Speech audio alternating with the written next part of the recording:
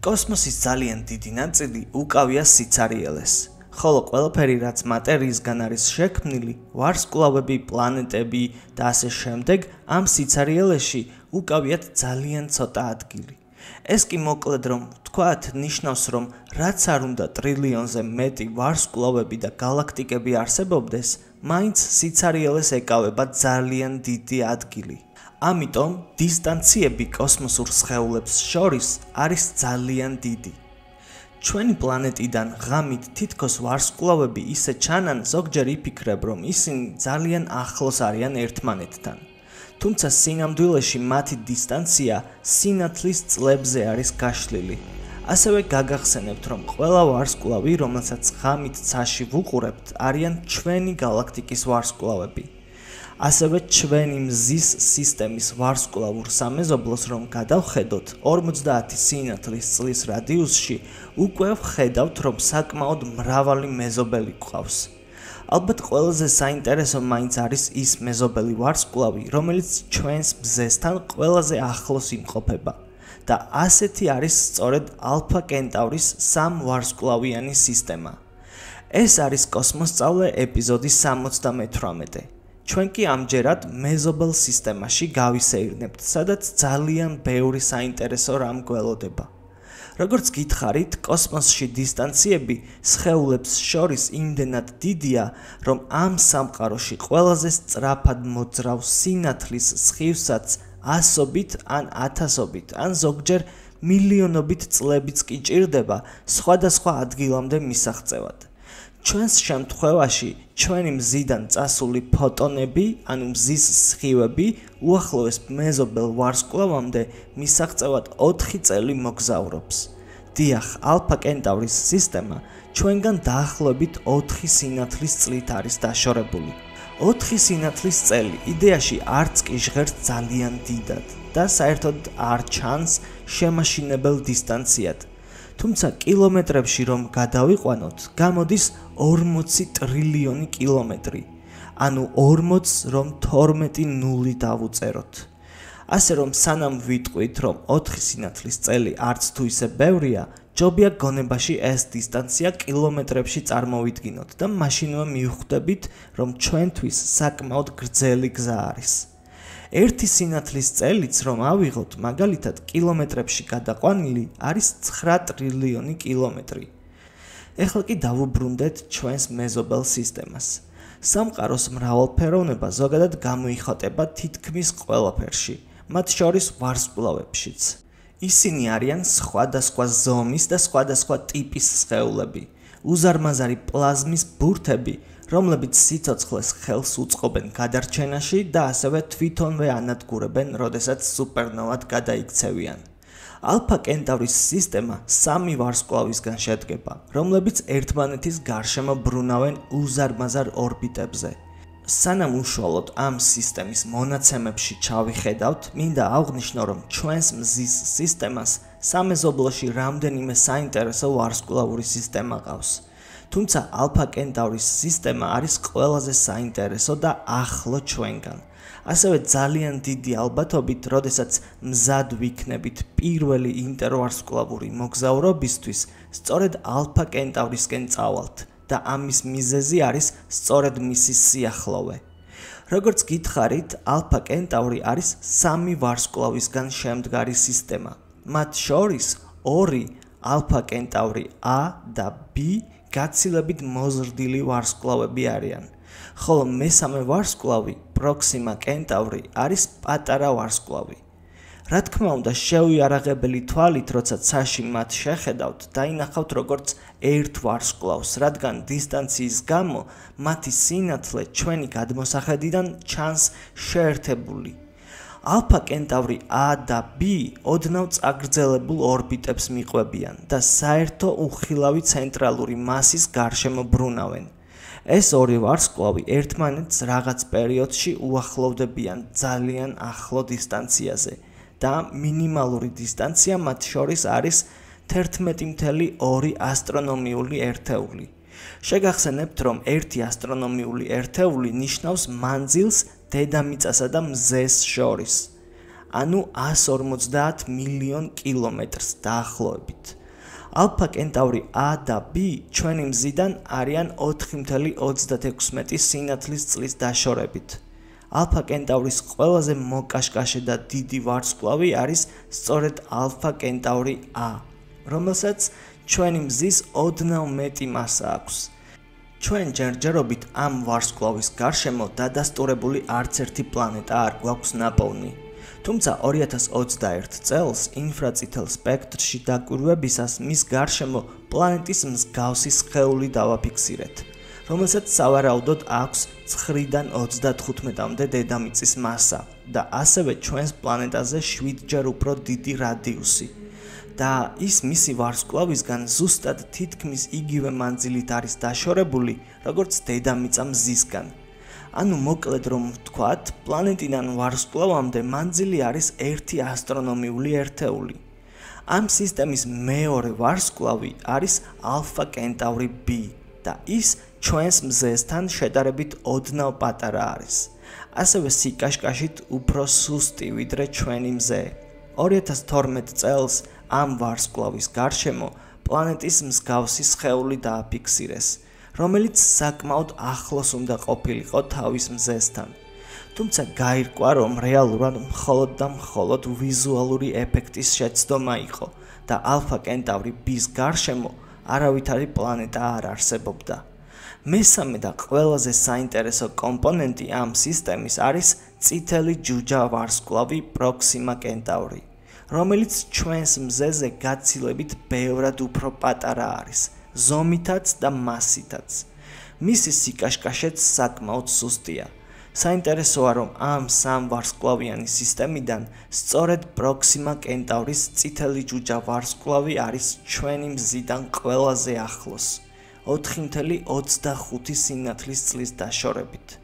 სხვათა შორის ამ ვარსკვლავის სახელი პროქსიმა კენტავრი ლათინურად ნიშნავს უახლოეს ან ყველაზე ახლოს. ასევე ძალიან საინტერესო უახლესი ინფორმაცია მინდა გაგიზიაროთ პროქსიმა კენტავრზე.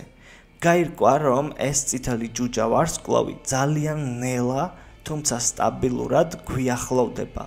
და მათემატიკური გამოთვლებით მეცნიერები დღეს ამბობენ, რომ არაუმეტეს 26700 წელში მანძილი ჩვენს მზესა და პროქსიმა კენტავრს შორის შემცირდება და გახდება მხოლოდ 3 სინათლის წელი. დედამიწიდან წითელი ჯუჯა პროქსიმა კენტავრის დანახვა ძალიან რთული, ან საერთოდ თითქმის შეუძლებელია, რადგან ის ზედმეტად სუსტი და პატარა არის ამისთვის. რაც შეეხება მის ორბიტას, პროქსიმა კენტავრი, ალფა კენტავრი A და B-სგან გაცილებით მოშორებით ორბიტირებს და ასევე მისი ორბიტაც საკმაოდ უფრო დიდია. თუმცა ალბათ საინტერესოა თუ რატომ მიჩნევიან სამივე ვარსკვლავები ერთი სისტემის წევრებად. იმიტომ რომ ალფა კენტავრი A და B ერთმანეთის გარშემო ბრუნავენ, თუმცა ამავდროულად ასევე ბრუნავენ კიდევ ერთი საერთო ცენტრალური მასის გარშემო. და სწორედ ამ საერთო ცენტრალური მასის გარშემო ბრუნავს მესამე ყველაზე პატარა პროქსიმა კენტავრიც.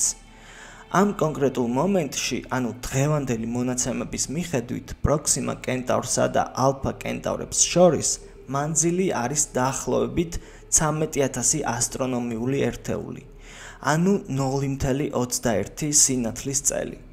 დღეს კი უკვე ვიცით, რომ 300.000 წლის შემდეგ სამივე ვარსკვლავი იქნებიან ერთმანეთთან ძალიან ახლოს.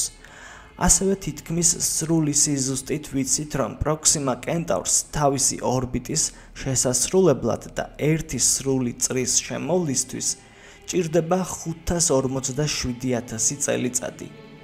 ეხლა კი გადავიდეთ ყველაზე საინტერესო საკითხზე. პროქსიმა კენტავრი მართალია ამ სამ ვარსკვლავში ყველაზე პატარა და სუსტია, თუმცა მათგან განსხვავებით პროქსიმა კენტავრის გარშემო ორი დადასტურებული ეგზოპლანეტა ტრიალებს. და ასევე უახლესი დაკვირვებებით ისიც დადგინდა, რომ ინფრაწითელ სპექტრში ეგზოპლანეტების მიღმა ტვერის და ასტეროიდების დიდი სარტყელიც არსებობს, სადაც ძალიან დიდი ალბათობით რამდენიმე ჯუჯა პლანეტა, კომეტები და დიდი ასტეროიდები უნდა არსებობდნენ. პირველი ეგზოპლანეტა, რომელიც ამ ჯუჯა ვარსკვლავის გარშემო დავაფიქსირეთ, არის პროქსიმა კენტავრი B და ის 2016 წელს აღმოვაჩინეთ. მისი მანძილი თავისი მზიდან არის 0.05 ასტრონომიული ერთეული. ანუ ძალიან ახლოს არის და ერთი სრული შემოვლისთვის 11 დღე ჭირდება. ასევე პლანეტის მასა დაახლოებით 20%-ით უფრო დიდია დედამიწის მასაზე. ასევე მათემატიკური გამოთვლების მიხედვით პროქსიმა კენტავრი B თავისი ვარსკვლავისგან იღებს ორჯერ უფრო მეტ სითბოს, ვიდრე დედამიწა იღებს მზისგან. თუმცა არ დაგვავიწყდეს, რომ მისი ვარსკვლავი არის წითელი ჯუჯა და სუსტი ვარსკვლავი. პროქსიმა B-ს ზედაპირზე საშუალოდ ტემპერატურა -39 გრადუსი ცელსიუსია. ეს ნიშნავს იმას, რომ დიდი ალბათობით თუ პლანეტაზე წყალი არსებობს, მას ექნება საშუალება, რომ იყოს სითხის სახით. ამიტომ შესაძლოა პლანეტაზე ოკეანეები, ტბები და ზღვები არსებობდეს. ეს კი სიცოცხლისთვის უმნიშვნელოვანესია. გარდა ამისა, პროქსიმა B თავის ვარსკვლავთან ძალიან ახლოს არის და ამის გამო ის მოქცევით ჩაკეტილია გრავიტაციულად. ანუ მისი ერთი მხარე ყოველთვის მზისკენ არის მიმართული და მეორე მხარე კი ღია კოსმოსისკენ. ყველაფერი რაც არ უნდა კარგად ჟღერდეს, მაინც არსებობს რისკი, რომ წითელმა ჯუჯა ვარსკვლავმა სისტემატიურად ვარსკვლავური გამანადგურებელი ქარები და ამოფრქვევები პლანეტისკენ გაუშვას და ეს პლანეტისთვის ატმოსფეროს დაზიანებას ნიშნავს. ჩვენი დედამიწაც იგივე სიტუაციაშია, თუმცა ჩვენ გვიცავს დედამიწის მაგნიტური ველი, რომელიც ფარის როლს ასრულებს და მზისგან წამოსულ მომაკვდავ ქარს დედამიწაზე შემოსვლის საშუალებას არ აძლევს. რაც შეხება პროქსიმა B-ს, გულახდილად რომ თქვათ, ჩვენ არ ვიცით მას აქვს თუ არა მაგნიტური ველი. 2020 წელს დაკვირვებისას მეცნიერებმა მეორე ეგზოპლანეტაც აღმოაჩინეს, რომელიც წითელი ჯუჯა ვარსკვლავის გარშემო ტრიალებდა. მას პროქსიმა კენტავრი C დაარქვეს. ის თავისი ვარსკვლავისგან არის დაახლოებით 200 მილიონი კილომეტრის დაშორებით. შეგახსენებთ, რომ დედამიწა მზისგან არის 150 მილიონი კილომეტრის დაშორებით. ამიტომ შეგვიძლია ვთქვათ, რომ საკმაოდ კარგი ადგილია სიცოცხლისთვის. მისი ორბიტაც ნორმალური ჩანს. 5 წელი ჭირდება, რომ ერთი სრული წრე დაარტყას თავის ვარსკვლავს. პროქსიმა C-ს მასა უდრის მაქსიმუმ 8 დედამიწის მასას. რა თქმა უნდა, ჩვენს დედამიწაზე საკმაოდ დიდი უნდა იყოს. ასევე საინტერესოა, რომ პლანეტის გარშემო არსებობს ბეჭდები, როგორც სატურნს აქვს დაახლოებით ისეთი, თუმცა შედარებით უფრო სუსტი.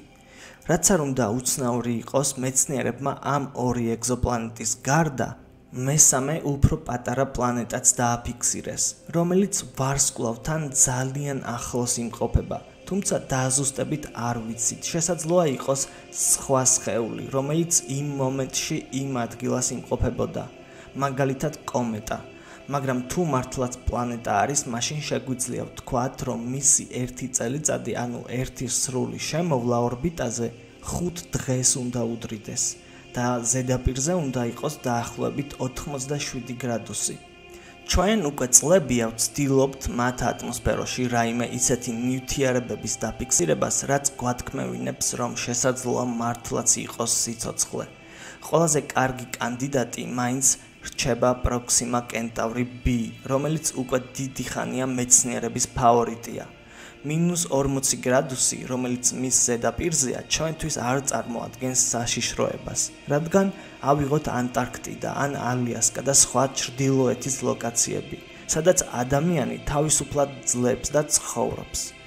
ჩვენთვის მართლაც კარგი ვარიანტია, თუმცა ერთადერთი დაბრკოლება არის ის უსასრულოდ გრძელი დისტანცია, რომელიც თითქოს ესე პატარა ჩანს, მაგრამ რეალურად ჩვენთვის წარმოუდგენლად დიდია.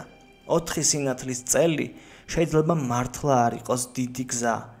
თუმცა გავიმეორებ, როგორც კი კილომეტრებში გადავიყვანთ, მაშინვე ეჭვი გეპარება.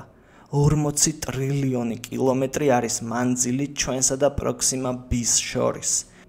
ამიტომ სხვა რამე უნდა მოვიფიქროთ, თუ იქ წასვლა და მისი გამოკვლევა მოგვინდება. მაგალითად, ყველაზე კარგი იქნებოდა სინათლის სიჩქარის ძრავა. ასე 4 წელში უკვე იქ ვიქნებოდით. შეიძლება დღეს ვფიქრობთ, რომ მსგავსი ინტერვარსკვლავური მოგზაურობა შეუძლებელია და მხოლოდ ფილმებში თუ ვნახავთ ესეთ რამეს. მაგრამ არ გამოვრიცხავ და მჯერა რომ მოულოდნელად უახლოეს მომავალში თავისუფლად შეიძლება მსგავსი იდეა განხორციელდეს. ასე რომ ინტერვარსკვლავური მოგზაურობა ჩვენ აუცილებლად ადრე თუ გვიან შეგვეძლება.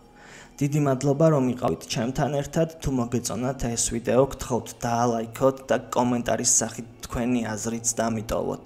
ვისაც არხი არ გაქვთ გამოწერილი, გამოიწერეთ, რათა არ გამოტოვოთ შემდეგი ძალიან საინტერესო ეპიზოდები. მომავალ შეხვედრამდე, დროებით.